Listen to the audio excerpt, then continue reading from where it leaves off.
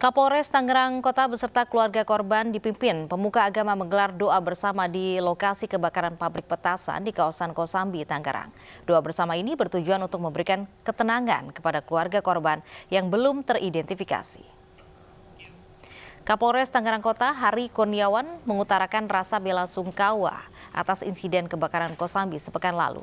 Kapolres beserta keluarga korban dipimpin oleh pemuka agama melakukan kegiatan doa bersama di dalam lokasi TKP kebakaran Kosambi. Kegiatan ini dilakukan tim Polres Tangerang Kota dengan tujuan dapat sedikit menenangkan keluarga korban yang anggota keluarganya belum dapat teridentifikasi dan yang sudah dinyatakan tewas. Ke depannya, Kapolres beserta tim DVI akan terus melakukan proses identifikasi hingga tuntas.